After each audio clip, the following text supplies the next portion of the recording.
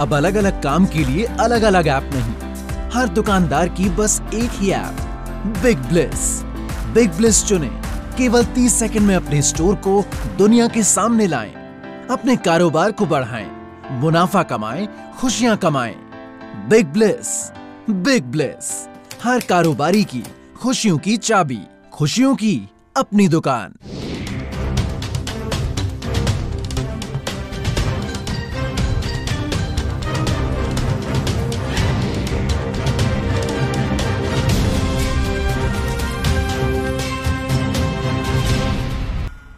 देश में खाने के तेलों में तेज़ी पर अंकुश लगाने के लिए सभी रिफाइंड तेलों के इंपोर्ट ड्यूटी में कमी की गई के बाद बीते सप्ताह देश के प्रमुख तेल तिलहन बाजारों में सोयाबीन तेल के दाम में गिरावट देखने को मिली है। माना जा रहा है कि मुर्गी पालन व्यवसाय के प्रतिनिधि काफ़ी समय से डीओसी की उपलब्धता बढ़ाने की मांग कर रहे थे और सरकार ने इस बात को ध्यान में रखते हुए डीओसी पर स्टॉक रखने की सीमा निर्धारित कर दी है।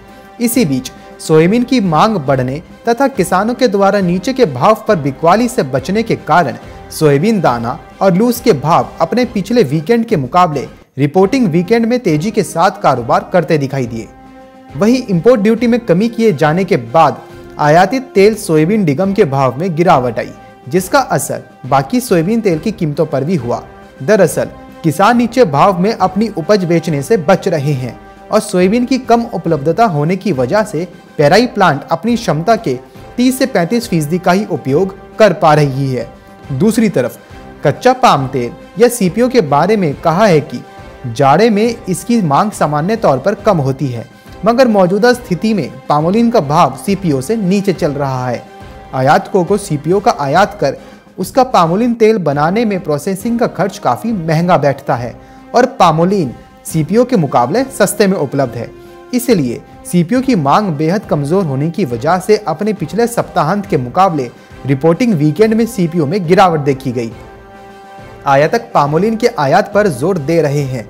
इसकी वजह से पामोलिन के भाव पूर्व स्तर पर बने रहे। वहीं तिलहन व्यापारी किसान मिल वालों के पास जो सरसों का स्टॉक था, उसे बाज़ार में निकालने से इसमें गिरावट आई है। वैसे लगभग दो महीने बाद सरसों की नई फ़सल आएगी। तभी स्थिति में कुछ सुधार भी होगा। साथ ही, बिनौला के बीज महँगे दाम पर बिक रहे हैं, जबकि तेल का दाम कम है। इस बेपरता स्थिति के कारण बिनौला तेल में सुधार है। बीज की अनुपलब्धता के कारण इसकी पेराई की लगभग 50 फ़ीसदी मिलें बंद हो चुकी हैं। Bureau report, Market Times TV.